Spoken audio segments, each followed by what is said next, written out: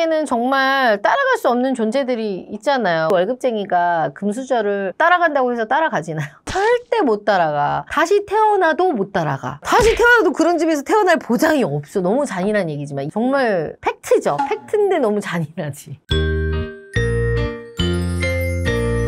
대표님, 네. 제가 요즘 결혼 준비하면서 느끼는 음. 점이 몇 가지 있는데 네네. 제가 일부러 하는 건 아닌데 나보다 더잘 나간 사람이랑 자꾸 비교를 하게 되더라고요. 음. 직장 알아볼 때, 드레스 볼 때, 집 볼 때 비교가 안 좋은 거 아는데 하게 될 수밖에 없는 것 같더라고요. 왜 이런 건지 모르겠거든요. 본인이 비교를 하게 돼요? 아니면 여자친구가 비교를 해요? 둘 다 하게 되는 거예요. 그럴 수밖에 없지, 그죠? 이게 우리 한국인들의 고질병인 것 같아. 아 비교. 비교가. 정신적으로 뭐 마음을 좀 아프게 하는 병이잖아요. 상처가 되고요. 그래서 누구나 살아가면서 한 번쯤 이런 비교를 했을 텐데 이런 비교 문화에 대해서 한번 얘기를 오늘 해보고요. 이런 비교 문화가 연애와 결혼에 어떤 영향을 미치는지에 대해서 자세히 얘기해 볼게요. 먼저 왜 서로 비교하는지 그 이유가 뭘까요? 이기고 싶어서. 그거 모르겠어요. 비교가 쉽기 때문에. 어떻게 쉽다는 거예요? 모든 건 화폐 가치로 환산이 가능하잖아요. 이게 무슨 말이죠? 뭐 예를 들어 내가 선물을 주려고 사탕이 한 박스를 사요. 이거랑 명품 향수가 있어. 뭐를 줬을 때 더 기분이 좋아? 당연히 향수 아니에요.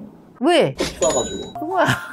그러니까 모든 것들이 화폐 가치로 환산이 되기 때문에 비교가 될 수밖에 없어. 예를 들어 어, 영식이라는 친구는 사탕을 주고 수진이라는 친구는 명품 향수를 줬어. 그럼 누구한테 더 마음이 가? 음, 수진. 수진. 어쩔 수 없는 거지. 아 음. 그래서 다 돈으로 계산할 수 있으니까. 맞아요. 너무 물질적인 거 아닌가요? 물질적인 걸 수도 있지만 사람 마음은 어쩔 수 없는 겁니다. 그러면 피디님 캔디 받을래, 향수 받을래? 그러면 사탕 받을 거예요? 그건 아니죠. 그러니까요. 진짜 그런 거 같아요. 생일날도 친한 친구인데 그 선물 금액을 자꾸 따지게 되는 그 생각을 할 수밖에 없어요. 나쁜 거는 절대 아닌데 사람인지라 어쩔 수 없는 것 같아요. 이유가 또 하나 있는데 대체로 생애 주기가 비슷해요. 그러니까 예를 들어 학교 다닐 때는 성적, 그리고 대학 갈 때는 대학교 간판, 그 취업할 때는 어느 회사에 들어 갔는지에 대한 일자리 부분, 그리고 결혼할 때는 어떤 집을 사는지, 또 어떤 조건의 여자와 남자가 결혼했는지 이런 것들을 자연스럽게 비교하게 되죠. 사람들의 코스가 똑같으니까 비슷하지. 다 비교를 할수 음, 있으니까. 음, 네. 맞네 그래서 비교가 쉽겠네. 걔 어디 산대 했을 때 산다고 하면 어 부자다 막 이런 말 하세요. 예를 들어 나보다 별로 공부 못하는 친구인데 뭐 한 달에 500 버는 여자랑 결혼해. 근데 나는 한 달에 한 100만 원 버는 여자랑 결혼해. 그럼 비교가 되겠어요, 안 되겠어요? 자존심 상할 거야. 그럴 수밖에 없죠. 그리고 두 번째입니다. 경쟁 환경에 빨리 노출이 됩니다. 어릴 때 부터 어때요? 학교 다닐 때? 선생님들 공부 잘하는 애들 우대해주잖아. 공부 잘하면 짱이죠.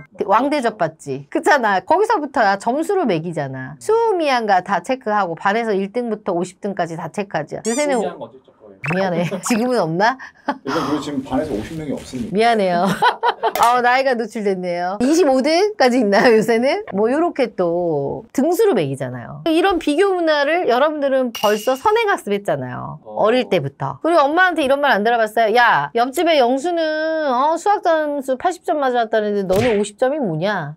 안 좋은 추억이 떠오르는데. 그죠? 이거는 누구나 한 번쯤 다 들어봤을 거고. 그래서 일찍이 주변 사람들과 나를 비교하 는 게 자연스러워지고 습관이 돼버린 거죠. 말씀대로라면 안 할 수가 없겠는데. 안 할 수가 없어. 세 번째입니다. 행복은 상대적 개념이기 때문입니다. 내가 스스로 느끼기에 내가 쟤보다는 더 잘 살아야 된다고 생각을 하고 느끼게 되는 거지. 그래야 직성이 풀리는 거지. 내가 쟤보다는. 그런 심리가 있지 않아요? 그런 거 있지 않아? 주변 사람들 있을 때 친구들이 있으면 내가 쟤보단 잘 살아야지. 내가 쟤보단 좋은 여자 만나야지. 내가 쟤보단 돈 많이 벌어야지. 그래서 이렇게 주변 사람보다 내가 뭔가 더 우월해야지 자존감이 높아지는 거지. 그래서 남들보다 좋은 차, 비싼 시계, 좋은 집, 뭐 강남 살아요. 이런 비교를 하게 되는 거고 하물며 요새는 어린 친구들도 어, 니네 아빠 차 뭐야? 우리 아빠 차 벤츠야. 뭐 우리 아빠 차는 뭐 국산차야. 이걸로도 또 서로들 싸우기도 하더라고요. 초등학생들이 그래. 그래서 제 아는 지인은 그래서 차를 부모님한테 3천만 원인가 빌려서 사신 케이스도 있어요. 그리고 또 더 심한 데는 아파트 또 동에 따라서 평수에 따라서 뭐 임대 아파트인지 아닌지 뭐 이런 거 있잖아. 임대 아파트 사람은 옆에 들어와서 놀이터 이용하 지 말아라. 막 이런 사연들이 있잖아. 애들이 안 게 아니고 어른들. 어른들이 얘기하는 거지. 쟤 몇 동 살아. 뭐, 쟤 그 놀지 마. 막 이럴 거 아니에요. 그러니까 그런 것들이 거기서도 경쟁의식인 거죠. 우리 어릴 때는 진짜 집이 몇 평인지 그런 것도 몰랐고 갈수록 이제 자본주의 사회가 되면서 급으로 나누는 거죠. 사람을 어떻게 보면. 끊임없이 비교를 하게 되고 경계를 만들어서 자신이 특별하다는 포장을 하게 되는 거죠. 자신만의 울타리를 만드는 거야. 어떻게 보면. 이런 이유로 사람들이 서로 비교를 하는 거고 그럼 이런 비교 문화가 우리를 어떻게 망칠까요?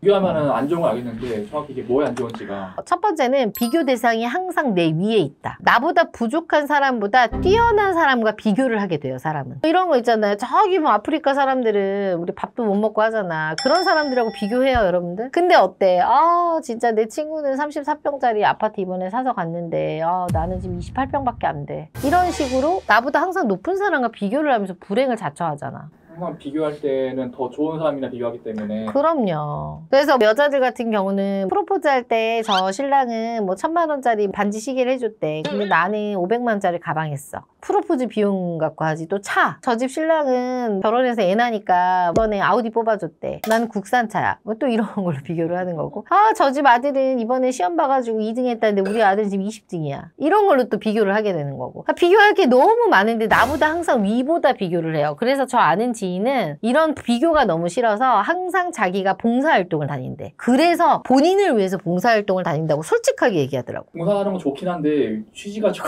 근데 나는 그 친구의 말이 정말 솔직하다고 생각을 했어. 어, 진짜 봉사의 마음을 하는 사람도 있지만 그런 게 너무 힘드니까 나보다 못한 사람들을 보면서 내 존재감을 조금 더 어, 살리는 거죠. 솔직한 대답 아닐까? 그래서 궁금한 게 말씀하신 걸 들어보면은 100만원짜리 선물 받은 사람이 500만짜리 받은 사람 부러워하잖아요. 반대로 500짜리 선물 받으면은 행복해지는 거 아니에요 그러면? 그럴 것 같죠. 그렇지 않아. 또 500만 원을 받잖아? 그러면 또 1000만 원짜리가 또 부러워지는 거야. 어 이를 또 봐요. 천만 원짜리 하면 또 2천이 부러지고 그게 왜 그러냐면 사람 심리랑 똑같아요. 아 내가 진짜 한 달에 300만 원 벌면 소원이 없겠어라고 했던 사람은 300 벌면 500 벌고 싶고 500 벌면 1000만 원 벌고 싶고 이게 사람의 어쩔 수 없는 욕망이거든요. 이건 누구나 다 똑같은 것 같아요. 그리고 솔직히 피디님들 봐봐. 사회초년생 때 예를 들어 내가 한 150만 원 받았어요. 근데 아 나 진짜 250만 받고 싶다 했는데 250 받고 있는데 어때요? 만족 안 하죠. 그러니까 이거예요. 이게 되네. 두 번째 맥락을 생략한 단순한 비교입니다. 좀 어려운 말 같은데. 내 친구가 호텔을 가서 호캉스를 막 해 며칠씩 가가지고 진짜 호텔에 돈 천만 원을 막 쓰고 와요. 근데 그 친구가 너무 부러운데 알고 봤더니 그 친구는 영끌을 해가지고 막 카드 빚을 내서 거기를 간 거야. 진짜 사치가 심한 애라. 근데 그 과정은 무시하고 걔가 그냥 호텔을 간 것만 부러워하는 거지. 걔가 어떻게 호텔에 갔는지에 대한 과정은 필요하지 않아. 그냥 거기 가서 호텔에서 즐기는 것만 부러워하는 거야. 그러니까 맥락이 중요한 게 아니에요. 그 과정을 알면 왜 저래 한심하게 보는데. 그렇죠. 나는 지금 집을 사서 살고 있는데 아주 좋은 집에 월세 막 천만 원, 이천만 원씩 내고 살아요. 이게 막 부러워. 그 집에 사는 게. 그치만 그 사람은 그 천만 원, 이천만 원 월세를 갚기 위해서 아침에 다섯 시에 일어나야 되고 그런 과정이 있을 거 아니에요. 근데 그런 거는 생각 안 하고 그 사람이 거기 사는 것만 부러워하는 거죠. 근데 이게 알면서도 참 이게 어쩔 수 없어요, 이게. 부러운 건 어쩔 수 없는 거지. 그런 거 있잖아요. 고만고만한 사람들을 부러워하는 건 상관이 없는데, 내가 태어날 때부터 빌딩에 있었던 집 딸이야. 걔는 당연히 호화로운 결혼식을 할 수밖에 없어. 그게 걔의 문화야. 근데 뭐, 나 같은 경우는 대기업이 있어요. 근데 월급쟁이야, 그래봤자. 그러면 이 월급쟁이가 금수저를 따라간다고 해서 따라가지나요? 절대 못 따라가. 다시 태어나도 못 따라가. 다시 태어나도 그런 집에서 태어날 보장이 없어. 너무 잔인한 얘기지만 정말